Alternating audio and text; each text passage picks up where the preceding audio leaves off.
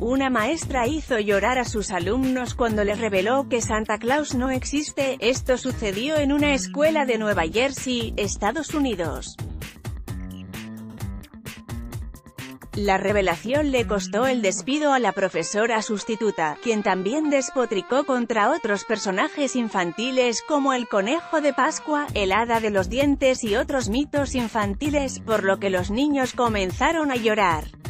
De acuerdo con Fox News, la directora escuela confesó que se sentía consternada con la acción de la profesora, ya que la revelación destruyó la, la ilusión infantil asociada con las fiestas y las tradiciones de los pequeños. No te pierdas, Virales Virales Valle de México.